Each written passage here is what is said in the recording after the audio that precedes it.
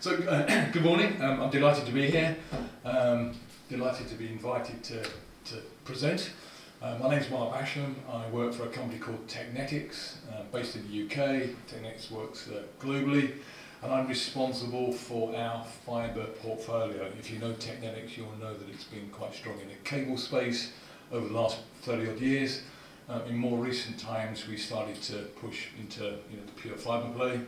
Um, and then in the last sort of four or five years, we started to add some more uh, fibre active components, basically OLTs um, and other parts to help service providers build their new FTTH, FTTP, FTTX, FTTA, whatever you like networks. So today I'd like to provoke the thought process around how you go about building fibre networks um, and particularly perhaps an alternative approach to the sort of big bang approach of putting large chassis-based solutions in and looking at a more granular, smaller approach using smaller OLTs, being much more targeted, uh, which opens up some potential opportunities around the economics, but also how you target specific customer groups and ultimately how you build that network.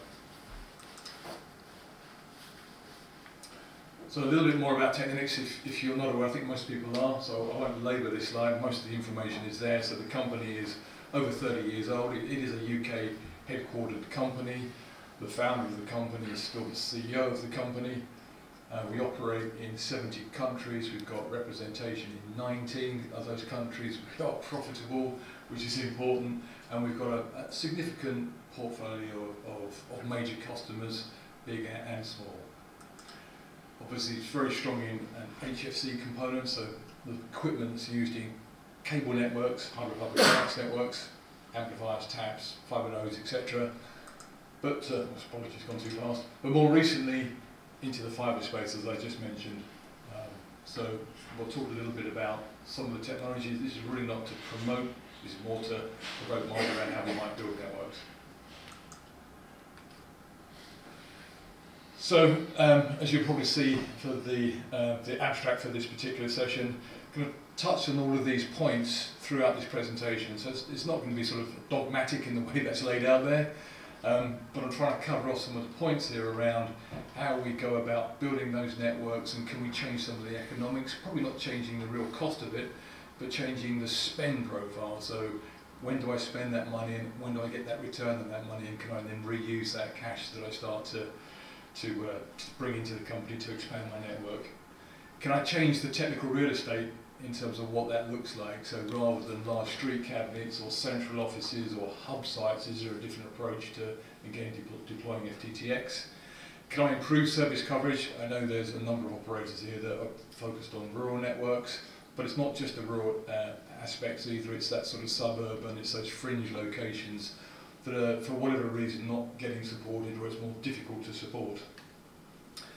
By doing that, can I, in that sort of more distributed architecture, can I change the, the way the power looks? So rather than have large systems with large power feeds, can I have lots of smaller systems with smaller power feeds? And that has some benefits as well. Smaller systems, when they fail, have less customers attached to them, so the blast radius of a smaller system is is less than a large system. So we'll touch on some of these things. That investment model that I spoke about, so more success-based, so can I spend money today and get a return on it very quickly rather than a long-term return? We all know, I think a lot of the altnets are under pressure because they're not getting the penetration and the returns on the investment that their, their investors are expecting. Um, higher split ratios, again we'll touch on that in a few minutes, and then how do we start to mix some of these things together? I'm sure you're aware, you know, a lot of the altnets are building XGS-PON, there's GPON, we can touch on what all that means in a second, but there's also talk about 25 gig PON and ultimately 50 gig PON, and how, how do we build and augment those sorts of networks? So this won't be a surprise, and I'm sure you're all very, very aware, a lot of you will be involved in this, there is a huge amount of money being spent in building fibre to the property, to the home. Depending on who you talk to, that's running into billions of pounds, dollars, euros globally. Significant focus on the UK, of course, right at the moment, but that is a worldwide. We're seeing the same in North America, across Europe, uh, Far East, Australasia, and so on. And the regulator, governments, councils are all stimulating that. They want fibre to the home. They can see that's got huge benefits. We all saw that during the, uh, the COVID period where people were working from home. They needed faster connectivity. That sort of changed perhaps some of the dynamics of how we work. And we've all you know, got multiple access devices from phones to set-top boxes to, to streaming to doing work. Um, there's, there's, a multitude of applications. There's a lot of investment being pushed into building fibre networks in all shapes and forms.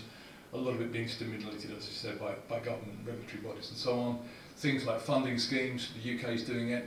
We're seeing it in the US with their BEAD program as well, trying to get fibre into those areas outside of the major urban, big sort of conurbation cities. GPON is predominantly what's being deployed in most of these locations for initial fibre builds. For those who are not aware, so GPON operates at one, and a, one gig to two and a half gig that's a shared amount of bandwidth around the customers that you've connected to that PON network.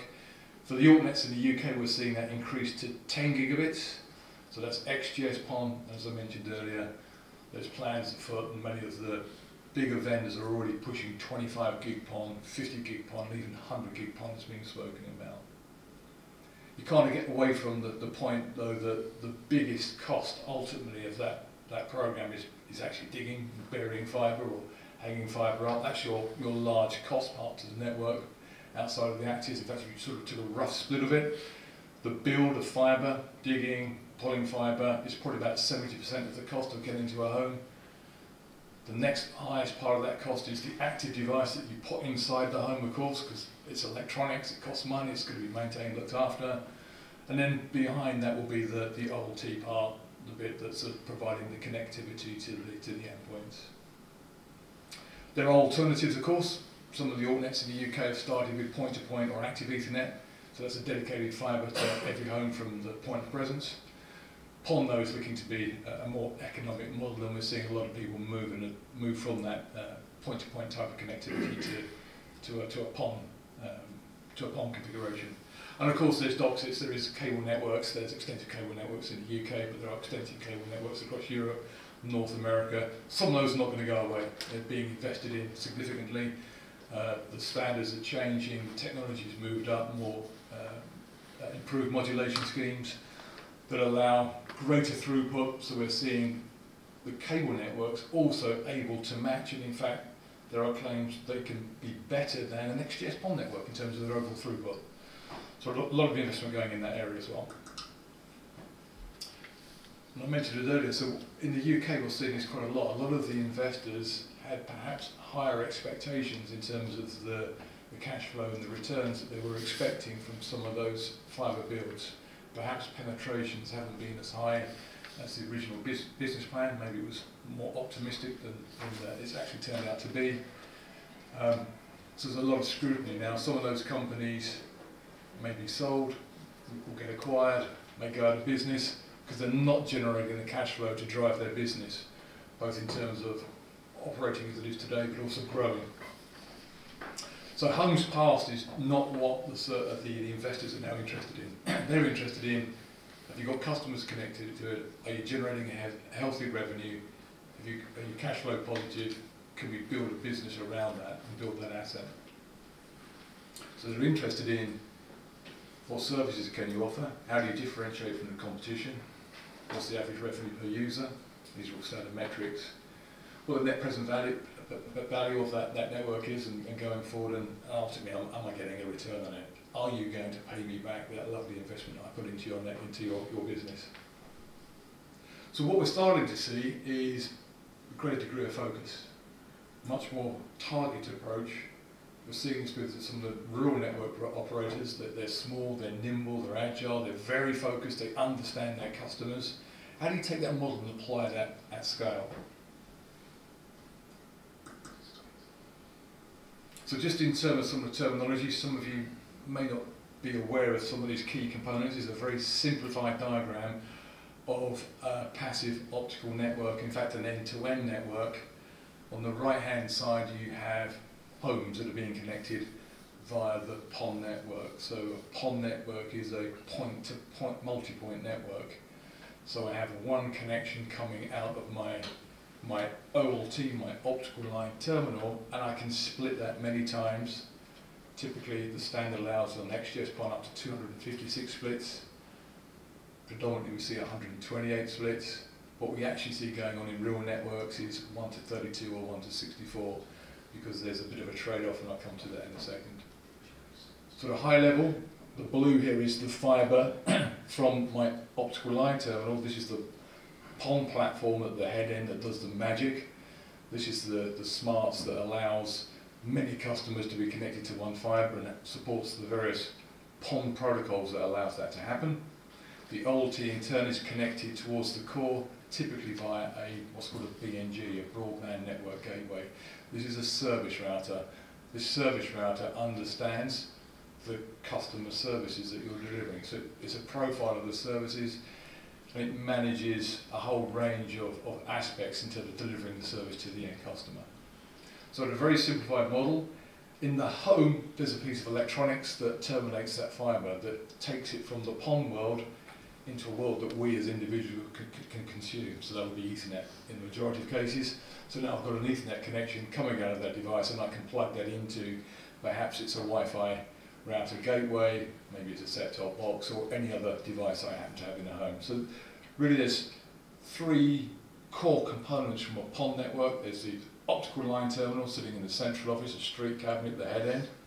There's the fibre that connects that towards the customers, and there's a device in the customer prem that allows the end-to-end -end communication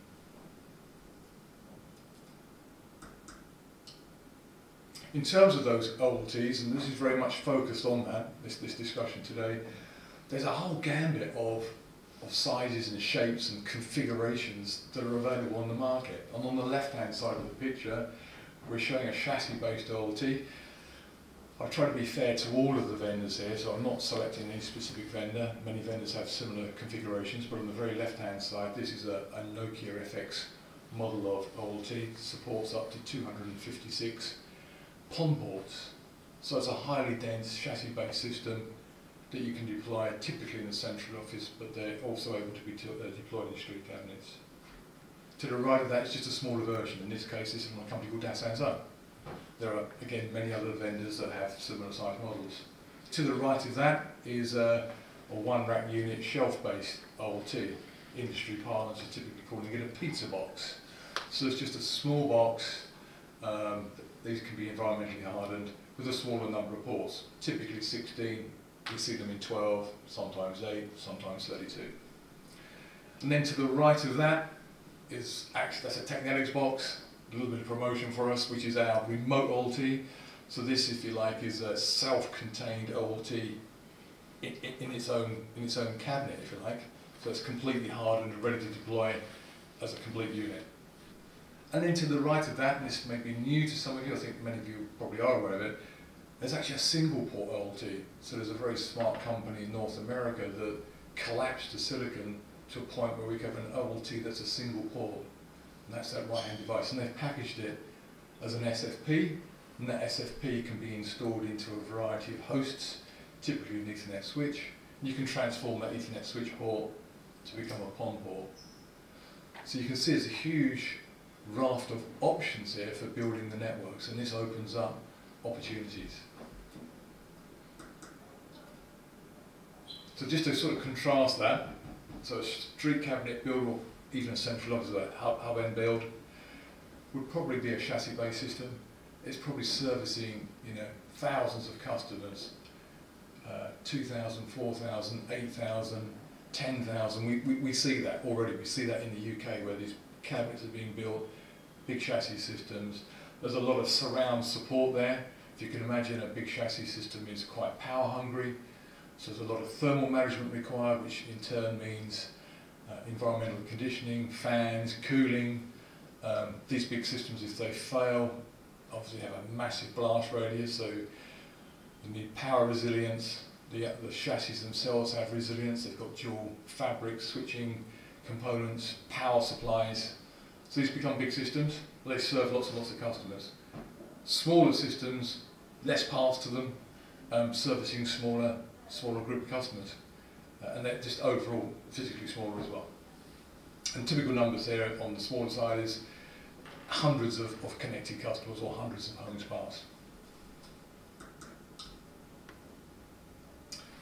So we just look at what actually is going on. So again, the pictures on the left here are just of some of the UK service providers and some of their build. Um, the very top there is CityFibre, So their their approach is basically to build a central office.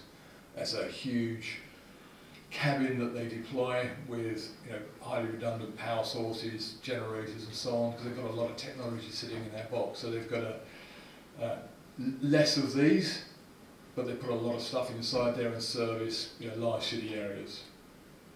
Then you've got the more street cabinet approach, and again, we're all familiar with this, Openreach street cabinets, Hyperoptic street cabinets, um, GigaClear, all of the AltNets, are, or majority of the AltNets are, are deploying in that way.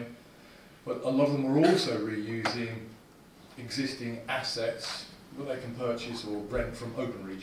So they can deploy into existing infrastructure today, into the other exchange buildings or central offices, and put technology in those as well. So we're seeing all those ranges of OLTs being deployed, some at 16 ports, 32 ports, 64 ports, up to 256 ports, and in fact, multiple OLTs in some of those really big exchange points. So lots of equipment going in. The point here is there's a lot of cost associated to that. Lots of cost. A street cabinet with an OLT, battery, power backup, support systems around that, this is getting into hundreds of thousands of pounds, dollars, euros, depending on what currency you want to use. They take quite a lot of planning. Even if you've got a cookie cutter model, it's still planning around where am I physically going to deploy it, have I got permission to deploy it, wayleaves, permits, putting a slab in, putting the ducting into it. There's a lot of cost and planning associated to that. It costs lots and lots of money and takes lots and lots of time. In fact, we're involved with a customer right now, and it's actually a fairly simple project. But the duration of getting permissions, it, it takes months. It can take years, in fact, in some locations. So lots and lots of money being spent on these big systems, which means it's it takes a lot of time. It slows down that process of targeting specific customer groups and getting them connected. Oh, actually, one thing I want to emphasise here as well. When you build a network like this, you've got trade-offs to consider. So back to that PON network, that fibre network, um, I've got a laser that's firing light down my fibre. And that light um, is, uh, is being distributed to customers and the trade-off here is distance versus number of splits. So as I split, I'm using some of that power and as I go over distance, I'm using some of that power. So I have to find the right trade-off between distance and split. So if I'm driving over a longer distance because I've got a big central office-based system servicing a larger community, I'm now trading distance over the, my split ratio, so I might be at a lower split ratio, but if I'm really close to those customer groups, I, I can use my optical budget for splits rather than distance, maybe I can get a better port utilization and a better return on that port.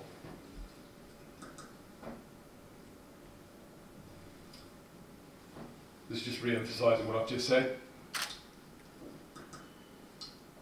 So we look at this again just to give you some uh, view into some of these systems. This is not a UK system, this is uh, another part of the world, but it's the same sort of style of build. So this is a two metre high cabinet, so it's not a wider cabinet, it's just a very tall cabinet where an OLT is deployed in it, and you can see below that all of the fibre management that's going on. It's not the prettiest of deployments, I have to say. Um, on the right hand side though, there's a cabinet door there with a fan system, filters. It's, it's having to provide cooling, environmental management to that system in there. These larger OLTs can be hundreds of watts, in fact, getting close to a kilowatt of power consumption. So there's a lot of thermal management required to, to deal with that.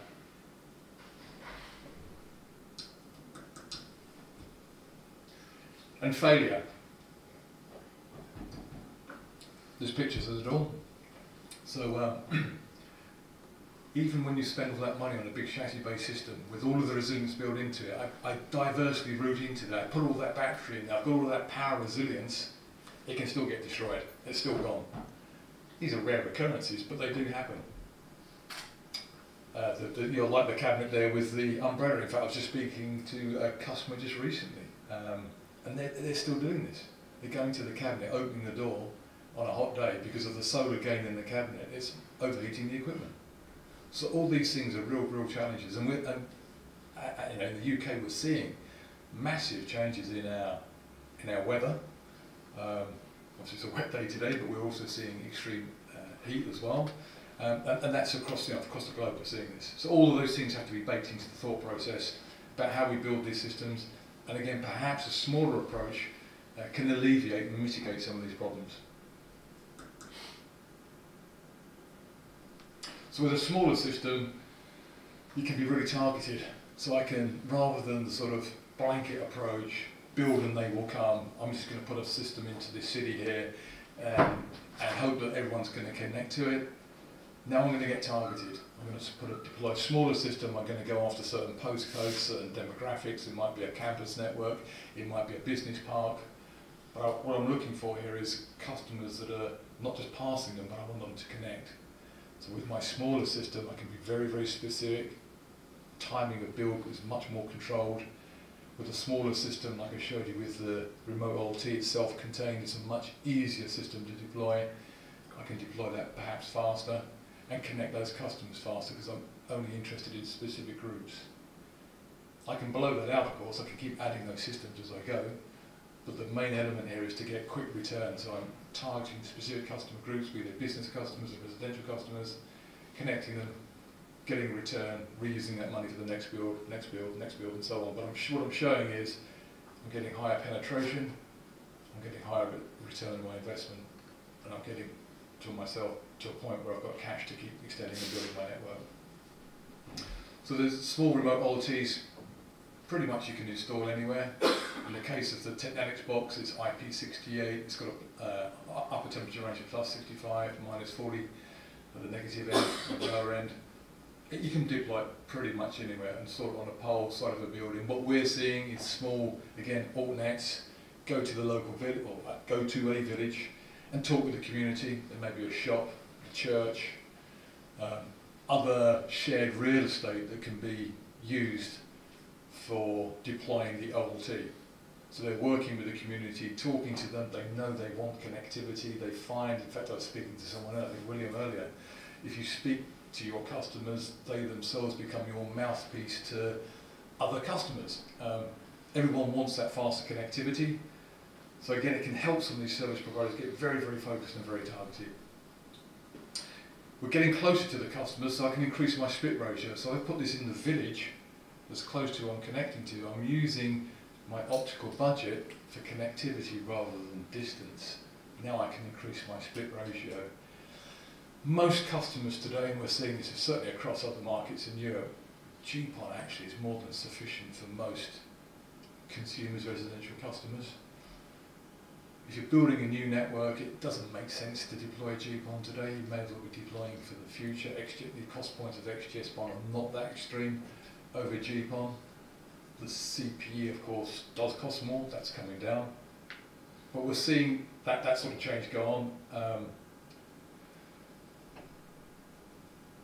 and then, um, so getting close to the customers means I can connect to them fast and get that return quickly on them. Um, and uh, uh, lose my train of thought here. Oh yeah, the, the other thing I want to mention here is the lower power consumption. So with a smaller unit, um, typically they're sort of sub 100 watts.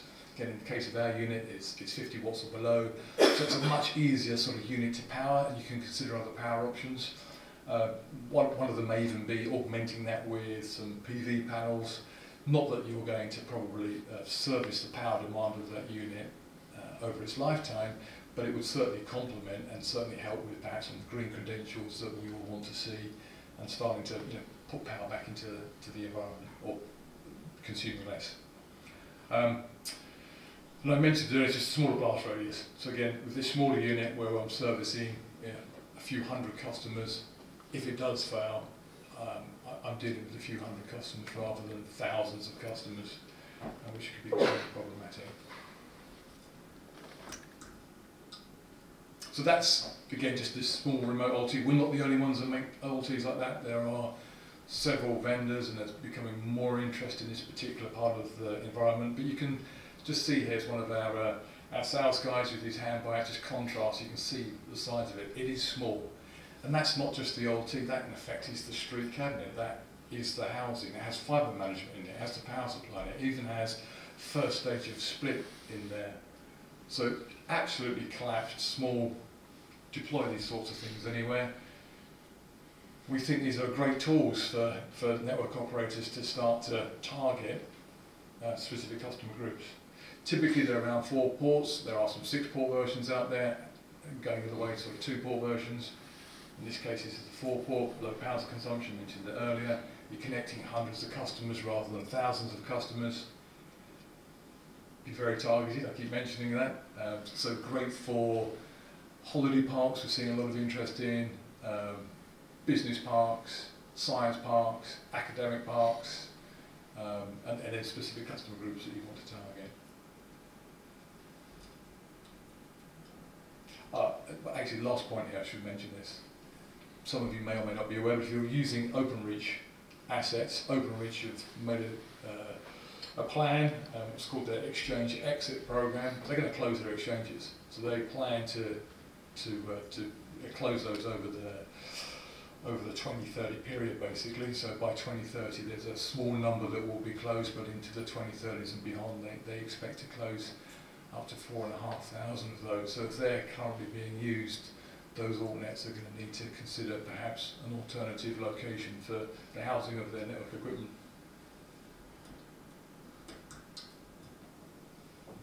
So renewable energy, again, altnets need to look at, in fact all network operators need to look at how they reduce their power consumption. And perhaps with smaller systems there's a way of doing that using PV panels where I've got again a very distributed environment. I can use a PV panel to augment the power demand locally. Probably going off-grid is a bit too much to ask, particularly in the UK. Maybe that'll work in, in, uh, in other regions. Um, you can put battery in there of course, but now I'm I've collapsed my network into a, a, a lot of, or uh, expanded my network into a lot of smaller parts. I've got the issue about, I've got lots of places to power, but it also opens up the opportunity to look at alternative ways of powering it. And of course that then means, um, what else could I use that asset for? So uh, we've got a partner in Australia that's using that asset for security aspects. You could also use that asset for perhaps um, town type Wi-Fi distribution. Um, there's lots of other things that could come from having an asset like that where the OLT is providing the fibre connectivity. I'm using my solar array to uh, gather some power and push that back into that unit, some battery backup locally, but I could attach and utilise it in other ways. It doesn't have to be quite as industrial as that. That could be on a pole, that could be on the side of a building. Uh, there's a number of configurations that you could consider. So remote powering, I need a local power feed, I could do that via PV panel, I could do that through the friendly customers, I could do that through the village hall, the primary school, the church. There's a whole range of ways of getting access to power as well as obviously buying it from the utility. Because they're low power consumption, you can look at unmetered power or the, the, the, the uh, variation of power demand is pretty flat. So you can talk to the utility company and purchase an unmetered power source which then sort of controls the spend, it flattens that out, you've got complete control over that. You can also reuse the copper infrastructure. In a recent discussion with OpenReach, which was very interesting, you know, they still got a lot of copper plant, and obviously the uh, telephone exchanges, as they were, to make a telephone work, you had basically a neg 48 volt battery source applied to the telephone line. That copper plant still exists it could be a power distribution network. So we're engaging now in some discussion there. And of course the coax network, it's copper, it's a power distribution network. So some of those assets could be reused, not as a communication link, now as a power distribution link for these remote units. So can I reduce OPEX or can I reduce my power consumption? get good tick on the green credentials actually show, be quite demonstrable in the fact that I am uh, looking at alternative ways to, to power my systems, but also lower my power bill. You know, the power bill is becoming larger and larger and larger, becoming quite material in the overall cost. So can I reduce that, improve my green credentials, and also is there other values that I can get out of an asset like that? So in terms of looking at the different models here, and we mentioned again the larger big bang approach, putting big chassis systems in and going after the, the big urban areas, actually there's a lot of customers that live in, not just in rural areas, but in a highly distributed locations and highly distributed geographies. So clearly cities like London, Manchester, Birmingham and so on, huge amount of density, you're going to get a lot of customer connectivity, but there are a lot of customers that are sitting in uh, outside those large city areas. And so this is uh, some information from um, from OECD, um, and it looked, and they did this uh, across Europe, uh, and, and it's, it's, it's really highlights, quite startling actually, that um, in many countries, just look at France, where there's a high population distribution, and lots of folks that are living in areas that are less than or in the region of 150 to 800,000. Now that's a big number, but the next part of that is they're subdivided into villages and towns.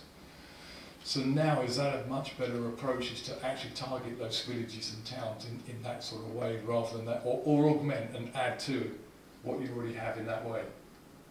So this actually really does, uh, I think, provide a nice visualization of the fact that you know, lots and lots of customers, there's a big available market for those rural, fringe, suburban type locations.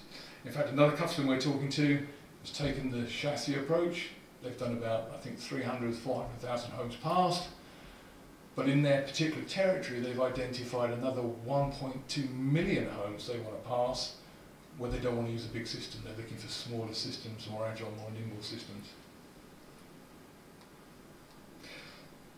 We call this a fine grain approach over a coarse grain approach. So rather than a big system, try to attract as many customers as you can for that particular area of servicing, it to be a, a lot finer grain, be very targeted again, get a quick return on that investment.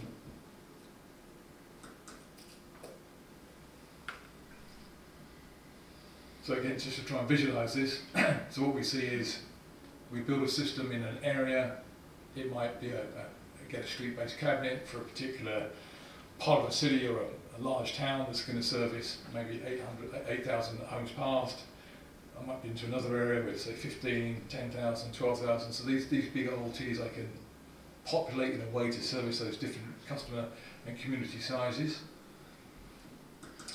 But can I fill that in, those gaps, with smaller systems? And that's clearly what we're starting to see customers or the uh, uh, fiber network operators become interested in. Because their current system build, it's that trade-off I mentioned earlier. I put my big system in, I've got to compromise between split ratio and distance, there'll be areas that I just can't reach from that existing build.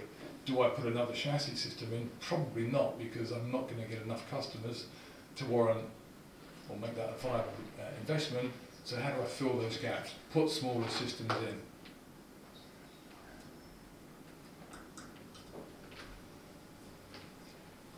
And could you consider actually forgetting about the big systems altogether and just using a fine grain approach in its entirety. And the big benefit here now is that, again, I'm going after specific customer groups to start with. I'm getting a quick return on that uh, money that I spend to then fund the next level of investment, the next build program. So I'm starting to probably build a different economic model and build greater stability in terms of the success of, uh, of my company. So single build model, you're going to have lots more nodes, of course. Operationally, that might be more complex. Probably not. We have most uh, most of these systems are remotely managed, of course. Um, there's a, a, lot of great tools that allow that to happen. You've got to deploy it. You're probably going to do some truck runs anyway when you pull the fiber to the end customer. So you're going to be passing some of these locations. So in the grand scheme of things, it probably doesn't actually result in any uh, additional real cost. Um, I've got less ports, but I've got a higher split ratio on those ports, so I'm getting a benefit there because again I'm closer to those communities, higher split ratio, less ports, less overall cost. The industry tends to talk about the cost per port of these devices, so now I'm getting more customers attached to each of those ports. These smaller systems, lower power consumption, means typically they don't need cooling. They don't need forced air cooling anyway. They can be just conductive or passive cooled. no fans. Lots of service providers talk about if I put a street cabinet, it's going to be quiet because I've got all those fans in there. And, you know, the, the, the, the folks that are housing housed near it, they can hear that stuff. It, it becomes a nuisance, certainly in the quiet periods in the evenings. So again, we hear that all the time. Is uh, a lot of uh, uh, consideration into the architecture of street cabinet, the systems that are in there, um, optimizing it in terms of power consumption, keeping them quiet and so on.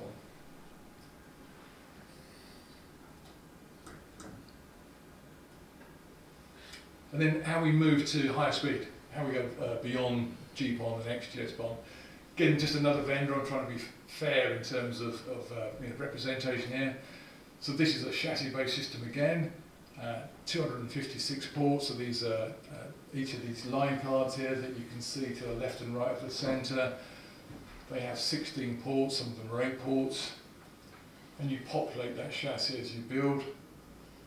But if I want to change that out now from being a 10 gig system or a GPON system and go to 25 gig, how do I do that? Because this chassis also has what's called a fabric or a switching component to it that was sized around the original GPON or XGS-PON capacity.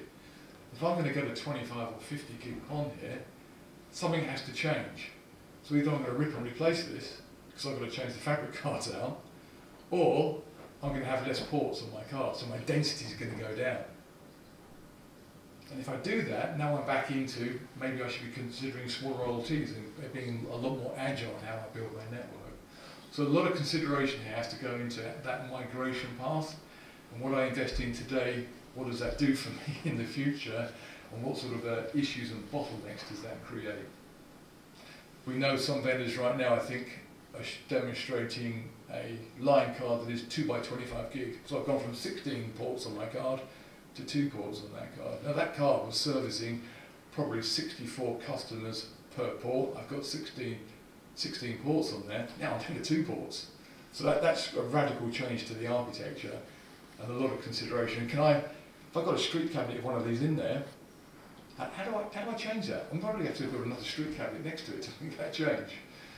Again, smaller systems perhaps make that a lot easier to start to add these new throughputs. So as I move to 25 gig PON, perhaps I look at a smaller box and augment that alongside that. Now 25 gig and 50 gig PON realistically is, is many years away in terms of uh, large scale deployment and it will be very targeted at specific applications, probably more network service oriented um, less about residential customers and perhaps business parks and some other applications, mobile backhaul and so on.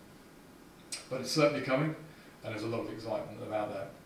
So in terms of how you combine those things, then you perhaps start to look at, again this is, uh, maybe some of you are aware of this, but you can buy systems today that will support what's called coexistence. So each of these individual ports actually will support GPON and XGS-PON concurrently you have to plug in a special transceiver. That special transceiver has two sets of lasers and receivers on it, so it's able to do GPON and XGS-PON simultaneously. So on my same fiber network, I could run 50 gig PON. It operates at a different wavelength. How do I combine those? So I just use a, an external component, WDM component, to combine, in effect, these different wavelengths into the same fiber plant that's servicing that, that, uh, that customer community. So we need to consider here how do we do targeted but also graceful introduction of some of these higher speed PON services which will have a massive impact on these existing deployments. It's not going to be easy.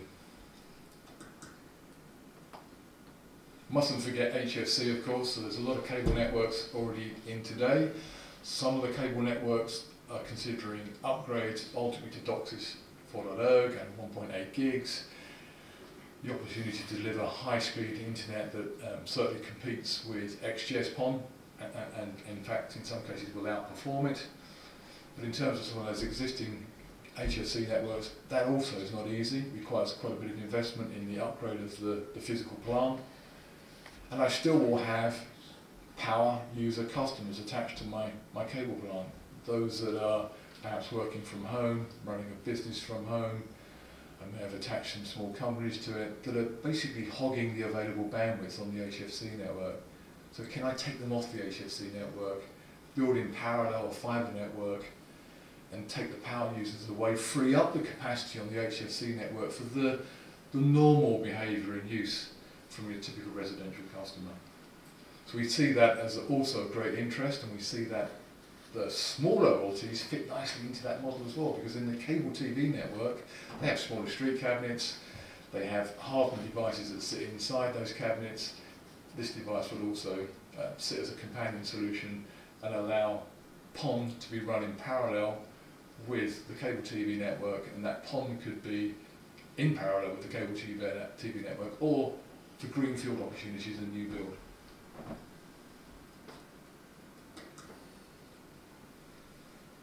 How are I doing for time?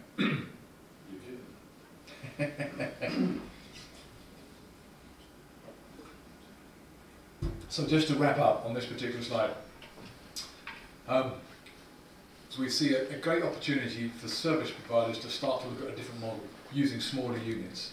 And those smaller units are not just about how I architect my network and looking at power, but also about changing perhaps the the economic model. It's not really going to change the total cost, but it will change the spend profile. So that idea of spend today, get a customer connected or customers connected to it quickly, that gives me that rapid return, starts to pay for that, that then funds my next build and so on. We think that should be of great interest and of great value to, to the altnets. Smaller systems, may not need the level of resilience in them that a bigger system requires. Because when you put resilience into those bigger systems, they don't come free of charge. Those additional fabric cards, those additional power cards, those additional CPU cards, that additional battery capacity, dual power, that will cost money, lots of money. So maybe there's a model here that allows me to tolerate perhaps some failure because the impact of that failure is not as extreme as a large system failure. So again, it's just opening the mind to are there other ways for me to architect my network and look at slightly different cost models? Can I move faster as well? As we mentioned earlier, it can't get away from the fact that digging holes and putting fibre takes time, and it's the biggest part of the cost. But as I start to break down all those parts, are there other areas that I can be nimble around? Even putting a street cabinet requires a, a lot of time for planning, a lot of expense in terms of putting a slab in, all of the civils workers, etc smaller unit, if I found a friendly village where they've got the local store, as I mentioned the church, the, uh, the primary school, the, uh, the friendly customer that wants to help the community, you can move a lot faster. The, the waiting situation may be slightly less. The permits may not be quite as onerous in, in, uh, in getting them.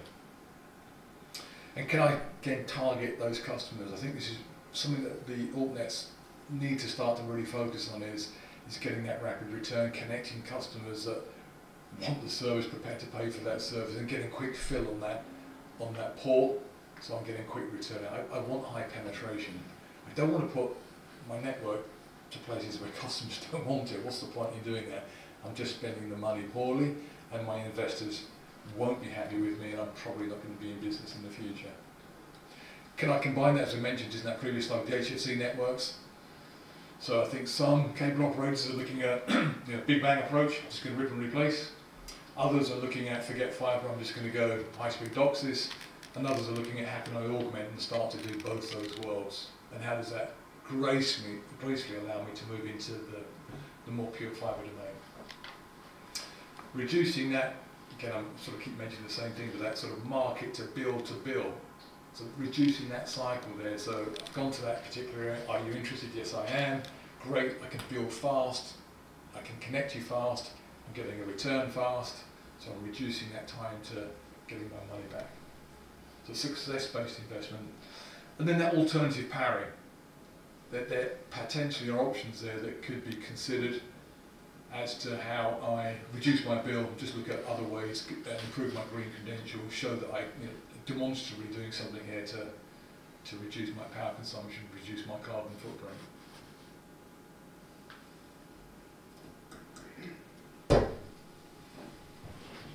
Any questions, I guess? There are. So this is going to be interesting. Could you please say your name and where you're from and ask your question? Yeah. Hi, this is Roisin from Corning. On the line side of the remote OLT, so the import from what would traditionally be a central office or a head end, what is the, what is usually the speed and format of that import? Is it Ethernet into a switch back at the head end? Yeah, typically it will be Ethernet, so you're seeing, I mean, most OLTs today will have um, uh, uplink cards that will be 10 gigabit, 25 gigabit, 100 gigabit, and they give you those options, all Ethernet. And you can put different transceiver types in there depending on the distance, so you could use short range if you're in a central office, but if you're at a distance, you could use a, a, an ER long range type, type or even a, a, a coherent transceiver if that's required. So the, uh, in essence, the architecture is point-to-point Ethernet to the remote OLT and then PON beyond that. Yeah, the, yeah, to the OLT, a sort of classic point-to-point network.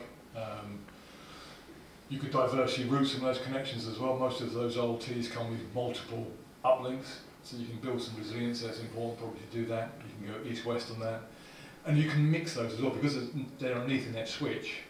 It, it, you know, it's anything to anything inside the Ethernet switch. So you can come at one side of 10 gig, the other side 25 gig or 100 gig. And most of them have a number of ports, so you could start with 10 gig day one, move to 100 gig in the future as demand starts to increase on the on the customer side.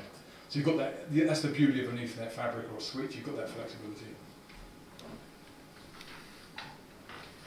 You're making me walk around there. this wasn't part of my plan today, thanks. Sorry about that. It's uh, Mark Burns from Liberty Global. Um, couple of questions.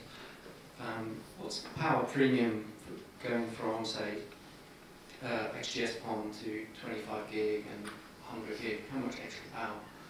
That's a good question. I'm not. I've not seen. So, um, I've not yet seen what the 25 gig and 50 gig transceiver consumption will be. I know from the so from the micro OLT perspective, it's not actually a big step up. Um, but that's just 25 gig versus 10 gig. Uh, so currently with the, the self-contained transceiver, which is a little bit onerous because it's got the OLT device in there as well as the optical transceiver component, they run max at about 3.3 watts. Typical is lower than that. And the 25 gig doesn't look like it's going to be much above that. Typical um, XGS PON standard optical transceivers, they're upper uh, limit of those is sort of two to two and a half watts. And again, the 25 gig ones that I've seen so far are in the same ballpark. Um, I think it gets interesting when you get to 50 gig and 100 gig because they're talking about coherent technology. When you talk about coherent technology, you're then adding DSP into that, uh, digital signal processing, if that means anything to everyone. So you've got a lot of manipulation to do about how you extract the, the, the data out of that, that link. And that's, that's a piece of silicon, so it's going to consume power. the other thing, of course, as you go to 25 gig, 50 gig, you've got a bigger switching fabric. So you've got a bigger hunk of silicon in there that's just moving more bits, so that also will. So I, I don't know, I've not done that study. I, I, it's probably in the order of, I don't know, 10 to 20%. Of course, you're also riding the evolution of silicon. As, you, as you're all probably aware, you know, we've, we, you know, in, in the last what, 10 years, we've gone from thinking 10 gig was high speed to 100 gig, 400 gig, 800 gig is already here in the white box space. 800 gig is, is available, and there's also, you know, they're even looking at 1.6 terabit in terms of the just the the, uh, the throughput or the port throughput. Um, and there's 52 gigabit throughput silicon that's already, or terabit, sorry, not gigabit, terabit silicon that's already available. So I think uh, there will be a power consumption increase, but I don't think it's going to be radical. It's probably you don't think it will change the uh, required power infrastructure? I, d- I don't think so. Obviously, it depends on how um, what margin was already built into the existing Absolutely. system. Um, but I, I, I don't think, as I showed on that, old, that big OLT, if you go to 20, there's some trade-offs, isn't there? So if you go, if you go to um, 25 gig as an example, you're actually in current architectures you're going to have less ports anyway. Um, so you probably end up, if you do that, probably consuming less power in that system. Of course, you won't be connecting the same number of customers. Second question, what about the um, optical receive powers required? I should know this answer, but anyway. Um, you know, if you design the system for 10 gig, and you go, eventually in, in a decade or whatever to 25, 50 gig, they don't have to redesign all the optics on it. No, will, it the- will it still work within the same uh, optical? Um, Yeah, yeah, that's that's the intention. Um, again, the um, so 25 gig for sure. Um, although not everyone's possibly going to move to 25 gig, they may leap leapfrog that. 50 gig, I think, is fine. Um, so I think that yeah, that's built in, that's baked into the model. It's, the same split ratio, the same optical performance. Um, but that may well have, we, you, you, the first question, a sort of net impact on, on power consumption. And I say particularly when you go to 50 and 100 gig, because you're running coherent type technology, so that will have. Thank you. Good questions. Um, Paul Smith, retired um, Virgin Media, or whatever it is now. you were talking about HFC. In my experience with HFC, the cabinet's absolutely rammed. In some cases, you couldn't get the doors closed. Right. What's the possibility of putting the ROLT in a chamber? And you're talking about IP68 for waterproofing, which I had a read a second ago, and it's one meter for 30 minutes. Do you have any provisions or any thoughts for waterproofing that? And again, in my experience, um, the, the chambers were full of water in some cases. So, but ideally, the ROLT could go in a chamber in a ducted network. Um, my mind would make uh, a nice, easy solution. Yeah, absolutely. Um, so what you, uh, the points you make are absolutely the practical elements of doing that. Um, the big gain in doing it in, into a chamber is, of course, the, cooling aspect. I mean, I'm now away from no solar gain really. I mean, there is a bit of solar gain, but I'm, I'm below the, the pavement level. Um, so there's big benefits in doing that. We think that would be great. Um, you can use, I've forgotten the name, but there's an arm, isn't there, you can put inside the chamber and attach it to. So I think it's physically viable to do that. Um, but to your point, flooding then becomes an issue. Yeah, long term uh, chamber full of water, we'd have to uh, improve the the uh, the waterproofness. Of the box, oh, sorry, waterproofness of the box beyond IP68.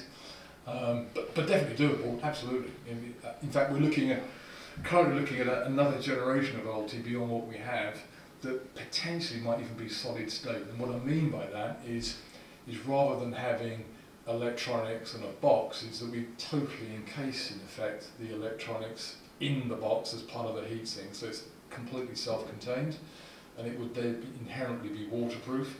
Of course, you'd still want to connect to it, um, and would require uh, you know, the, the appropriate connectors that uh, be submerged for long durations.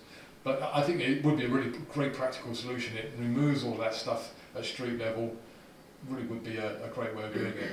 In fact, there's um, an interesting company that we're talking with that do a lot of roadside type cabinets. They do some of these speed limit signs and various other things, and they've got a cabinet actually just submerges into the ground. It's very neat. I don't know how again how reliable that sort of cabinet is, but there are some novel solutions out there. But I think that the idea of putting into a chamber is we've got lots of them, haven't we? They're everywhere. Yes. Hello, um, Gillian Kendrick from Real World. Mine's a much softer question. It's not a technology-based one. At the beginning better of this, no, but at the beginning of this, you talked about the fact that people are looking at return on investment. So it's not homes passed, it's homes connected. Yes. They're interested in. And he also made a statement, everyone wants faster connectivity. But do you think that's true? I think an awful lot of people don't want to switch because of the problem that you switch to a bare piece of fast connectivity, but you don't have BT Sport, or you don't have That's, that's, that is a good soft question. um, anyone from BT in here? No, you're safe. Good. I, I have to say, BT support is not it's not great, is it? I mean, I, frankly, my experience of, of other operators has been better than BT. Um, what I think you find with smaller No, op- no, I said sports, not Sports, support. Just the The service, you know, like buying, buying Oh, Netflix. s- sorry, apologies, Right? apologies. So yeah. it's, it's the ability to provide service Yeah, over yeah. that bandwidth. Yes. Um, well, certainly the OLT technology is capable of doing that. Um, it's, it's what's sitting behind that, of course, in terms of your uplink connectivity. Um, so that, that's really, again, down to spend, pu- putting the appropriate interconnects in. Um, if you look at the, I mean, the way a, a network is architected, yes, I built my network, I've got my own local connectivity, and now I want to connect to the wider world. How do I do that? Well, most companies will then connect into an IXP. That gets me into the outside world. Now, I buy a port, whether that's so in the UK, you'll become a member of the London Internet Exchange, and you buy a port into that, be that 25 gig, 100 gig, or whatever, and then you've got to size that correctly for the community that you're connecting. So I guess it's really down to the the service provider putting the right infrastructure in behind it. The PON system itself is more than capable, um, and certainly with XGS PON, which is the predominant build for new build, it's a huge amount of capacity there. I've got one last question. You spoke about interconnect. OSS, BSS. Yes. How does this connect backwards? You mentioned a load of names. How are these going to all connect to each other? Well, most network providers, you know, they very few, in fact, the altnets are doing this, but most uh, service providers that have been around for 10 or more years, they've got a collection of OSSs anyway. They've had this problem since, you know, since time began.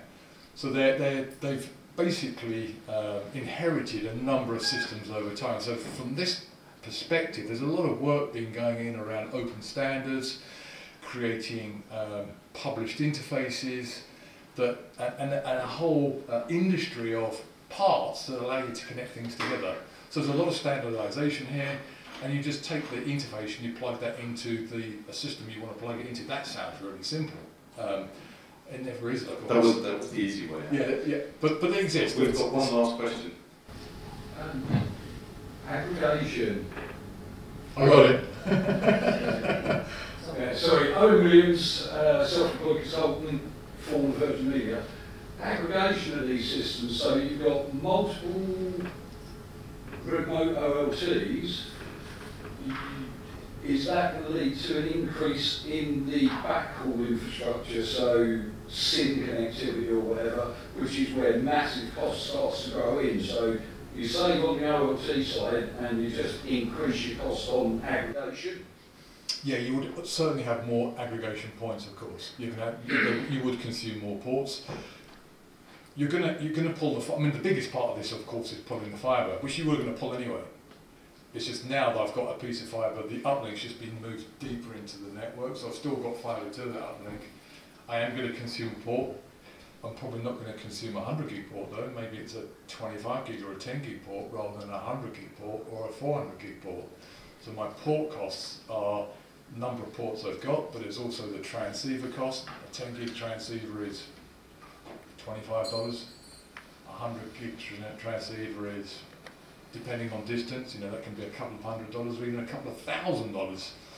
So again, it's, it's not quite, a, it's, it's not easy to give you a simple answer because there's a lot of range here, but I think just a high level, yes, you have more points of connection, uh, which will naturally probably to a, a slightly increasing cost.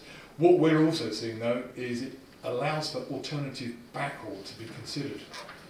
You could use a wireless connection for your backhaul to get that fibre connection in place quickly. Now that doesn't sound correct. You're giving the customer fibre, but you're using radio. But if it's correctly engineered and it's only the backhaul, and I can run those backhaul uh, with microwave links, I can run at significant speeds, but I can certainly offer a 10 gig and above backhaul connectivity, that's more than sufficient capacity for a small remote OLT sitting deep in the network. So it opens up those opportunities as well. Thank you. Thank you very much. Thanks, Prof. Um, My pleasure. Look forward to next time. and that'd be lovely to have uh, Michael Lee, Tom Root.